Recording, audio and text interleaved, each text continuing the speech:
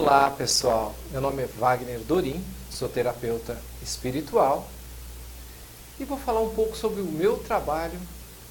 E você fala, mas terapeuta espiritual? Quais os sintomas que a gente tem para procurar um terapeuta espiritual? Bom, se você sente que é invejada, se você sente que você tem aquelas maldições hereditárias, entendeu?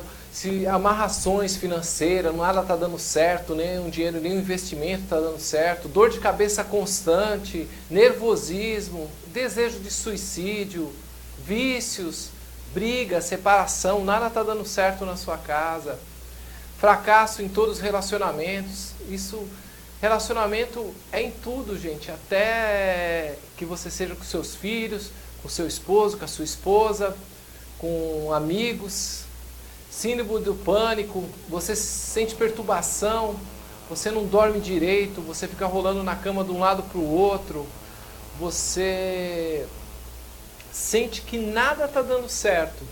Aí você olha para você e fala assim: Nossa, o que, que, está acontecendo comigo? Você está perdido? É, será? O que, que está acontecendo comigo? Então, nós vamos é, ver o que está acontecendo com você. É o seu espiritual falando com o meu espiritual. Nisso, muitas coisas é o seu espiritual passando para mim e passando para você. E nesse trabalho eu acrescento algumas ferramentas para trabalhar. Vou falar algumas porque não dá para falar todas, o vídeo ficaria imenso. Mas eu trabalho com a mesa dos acturianos, trabalho com a terapia dos orgonites, terapia dos cristais, Trabalho com o Magnify Healing, o Theta Healing. Trabalho com o Reiki é, Xamã. Trabalho com ervas do poder. Trabalho com o Reiki da, da Kwani, da Mestra Kwani.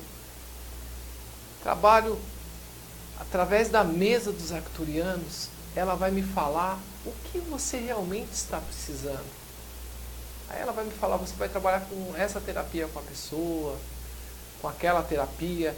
Inclusive seu animal que você tem dentro da sua casa, você vê ele tristinho, ou você vê ele sempre, alguma coisa ele está sentindo diferente, ele está é, tá chamando sua atenção de algum jeito, porque alguma coisa ele está vendo, porque o, o animal ele vem na vida da gente como se fosse uma alma gêmea.